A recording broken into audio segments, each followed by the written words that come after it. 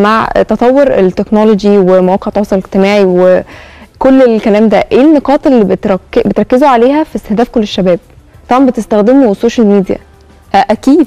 بنسبة كبيرة. أكيد. عايزه أعرف إزاي؟ آه هو التنسيقية ليها منصات على يعني منصات كتير على السوشيال ميديا هي الفكرة كلها إن إحنا بنقول للشباب إن أنت رأيك مهم وإن إحنا مكان مهتم قوي برأيك وإن هو يسمعه و- ومش بس كده لا انت هتشوف ان رأيك دوت وصل كمان لمؤسسات أو اتحط بشكل فعلي جوه ملفات مثلا أو قضايا معينة داخل الدولة واتحققت. يعني لما كنا بنستضيف ناس من شباب الجامعات كان بيقول لك أنا ما كنتش متخيل إن ممكن ده يحصل أو إن أنا هبقى قاعد مع المجلس أو حد من السلطة التنفيذية في الدولة. إحنا بنوفر ده إن أنت تبقى قاعد وتبقى كلمتك مسموعة ويبقى ليك دور في ملفات ذو أهمية في ال في ال مم. في البلد. آه لو هنرجع تاني للجلسات ال- الجلسات بتاعة الانتخابات أو الورش اللي إحنا بنعملها جلسات النقاشية إحنا عملنا أكتر من من جلسة. آه كان في جلسة مثلا كنا بنتكلم على الإجراءات الانتخابية وأهمية وجود الإشراف القضائي على آه، في الانتخابات. حتى كمان كنا بنتكلم في الجدل اللي بيثار اللي فكرة مثلا الناس اللي كانت تطلع تقول لك هو ليه الجدول الزمني لما طلع من الهيئة الوطنية للانتخابات لازم يخلص يوم 17 واحد ليه ما ناخدش فرصة أكبر؟ دي كان من ضمن الضمانات بتاعة الانتخابات إن طبقا للدستور 2014 والمادة 210 بالذات إن الإشراف القضائي ينتهي بعد مرور 10 سنين بالظبط. فبعد مرور 10 سنين يعني الإشراف القضائي هينتهي يوم 17 واحد بالظبط.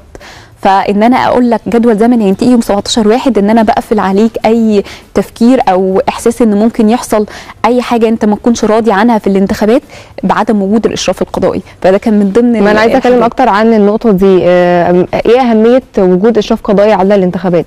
طيب إحنا في الانتخابات إحنا بنهتم أو دي كانت مشكلتنا كلنا مش مشكلتنا زي ما تقول كانت رغبتنا كلنا إن إحنا بنهتم قوي إن الانتخابات تطلع بشكل يليق بمصر. بالداخل قبل الخارج على فكرة. آه فكان من الاشراف القضائي هي من ضمن الضمانات اللي بتضمن إن ال- الانتخابات تطلع بشكل يليق ويبقى راضي عنه جميع آه المصريين.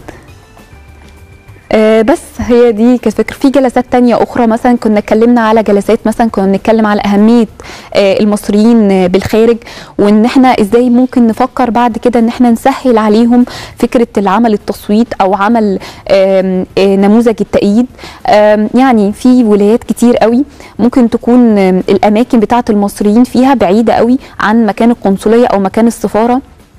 ده كان بيبقى صعب مم. عليهم قوي إن أنا أقدر آخد المسافة دي كلها عشان أروح للقنصلية أو السفارة عشان أعمل نموذج تأييد لمرشح أو ادلي بصوتي فبدأنا نفكر إن إحنا آه، ليه ما نعملش ده مثلا من خلال البريد للمصريين بالخارج لأن هم صوتهم أكيد لا يقل أهمية عن طبعاً. صوتنا بالعكس يعني ده ليهم دور كبير جدا جدا جدا دي كان من ضمن الأفكار اللي كنا بنتكلم فيها مع المصريين بالخارج إن إحنا مثلا عايزين يكون في طول الوقت ابديت على آه، قاعدة البيانات الخاصة بالمصريين بالخارج مش بس عشان خاطر نعرف هم عددهم قد إيه ويبقوا موجودين في عمليه الانتخابات يعني أنتوا في في كل في دوركم يعني في في الانتخابات الرئاسية مهم جدا برضو بتستهدفوا المصريين عايشين في الخارج زي هنا بالظبط. ده أكيد جدا يعني. آه زي ما كنت بقول لحضرتك هي فكرة إن إحنا حتى كنا بنقول إن عايزين آه إن يبقى في دايما ابديت لقاعدة البيانات مش بس عشان عملية التصويت أو عملية الانتخاب. إحنا محتاجين نعرف مين عددنا قد إيه. طب كل واحد من المصريين اللي بره مصر آه، بيروح من ولاية لولاية راح فين مكانه فين طب بيشتغل إيه؟ إحنا محتاجين نتابع ولادنا بره ودي كان من ضمن مقترحات إحدى الورش.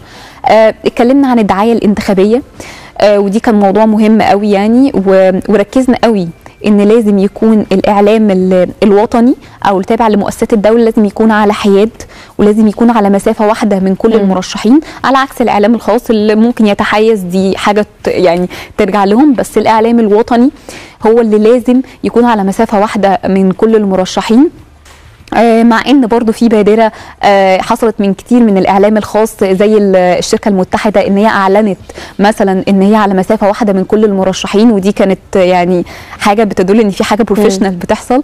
آه، كذا كذا يعني جهة أعلنت أو شركة أعلنت إن هي على مسافة واحدة من كل المرشحين ودي حاجة مهمة جدا. مظبوط.